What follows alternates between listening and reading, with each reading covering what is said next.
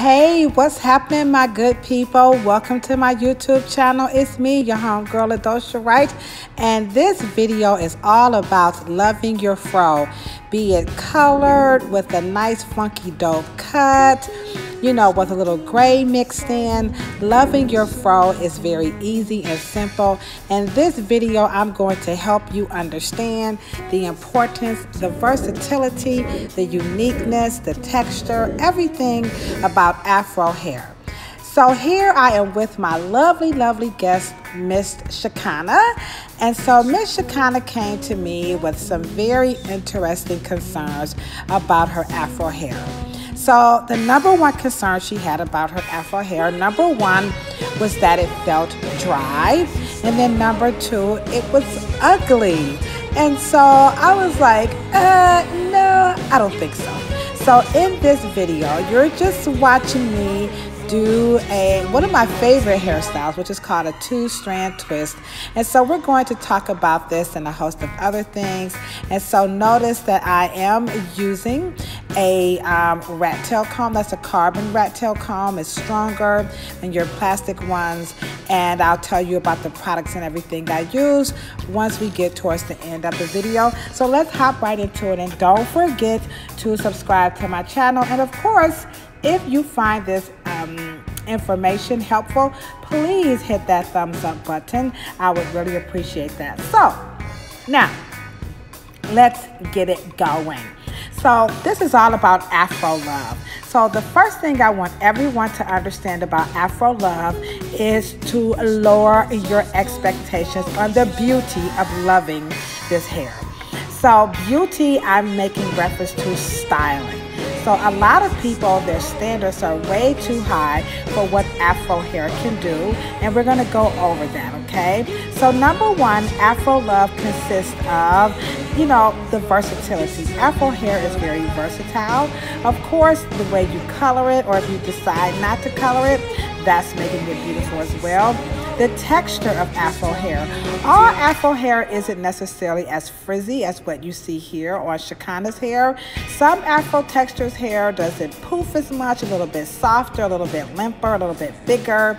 So it's going to vary from person to person. So on afro hair, you can see various textures such as what you see here on Shakana's hair, which is very wavy. So Shakana has afro wavy hair. It can also be coily, which you guys call kinky or 4C, and it can also be curly, all right? The type. Afro hair also has a strength, so afro hair can be limp, afro hair can be, you know, kind of medium, and afro hair can be really, you know, coarse and thick, all right? So those are the three types, which is very strong that you have on Afro hair. So again, all of this is really about, you know, lowering your expectations on beauty and accepting that Afro hair is not what? a monolith. That's right. A lot of people talk about Afro hair as if we all have the same texture and the same type, and we don't. Okay. So now let's break down some myths about Afro hair. Okay. Um, the other myth about Afro hair is people think Afro hair is low maintenance, all right? They think Afro hair is carefree. Some people think Afro hair is bad. A lot of people think Afro hair is a black thing. And then some people look at Afro hair as a status. Like if you have Afro hair, then perhaps you are black enough, ethnic enough, homegirl enough. You see where I'm going with this? I don't know about that. So, keep in mind again lower those standards on beauty of it you know how to style it. Um, you know afro hair it, it, it requires work it requires maintenance and you have to at it okay? And of course it's not a monolith and then it you know you just have all these isms that are not necessarily true okay?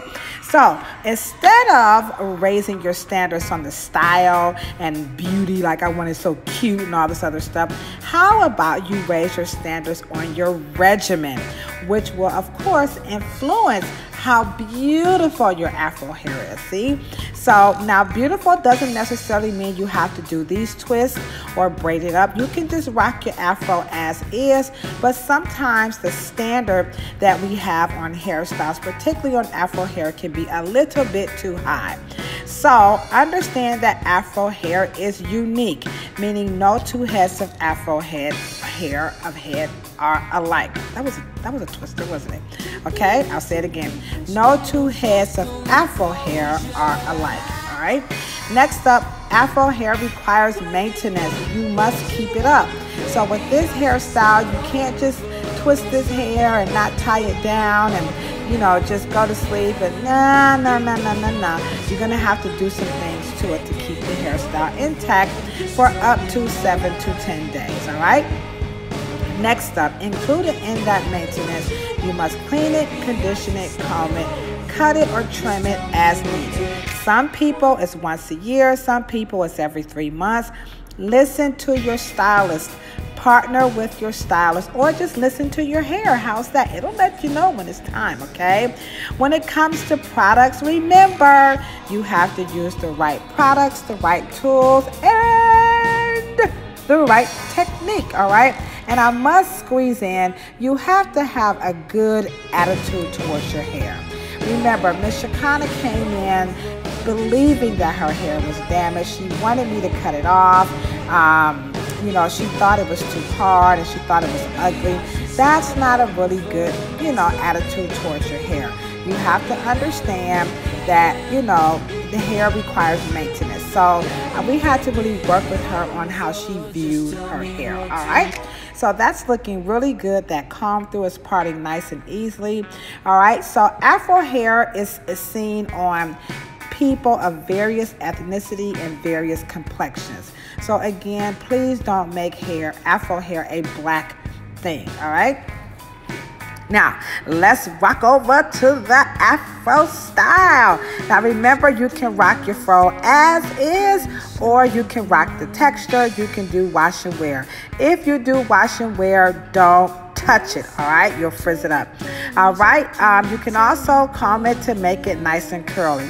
When braiding your hair, you can uh, do um, apply products to it that's going to give it some slip, or you can blow dry it and braid it as well. Um, you uh, so your also your various styles can be braiding, coiling, rod setting, and then as you can see right here, we're talking about a two-strand twist, which I saturated her hair with the leave-in conditioner such as there it is. Okay, I put my camera down. Okay, such as the um, satin tame, and then I also used um, the right products. Um, uh, Ledoux. And then here I am using Design Essentials Honey Curl Forming Custard, all right? And I used that just to slay her edges, okay? And then I did use a little bit of DevaCurl at the shampoo bowl because we were gonna do one style, but then she decided she wanted it to hold.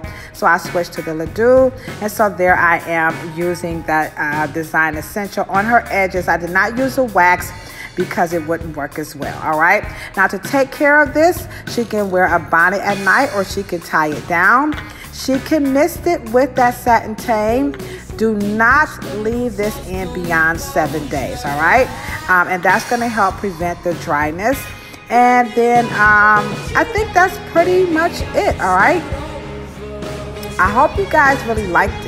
Um, as you can see, it's very easy.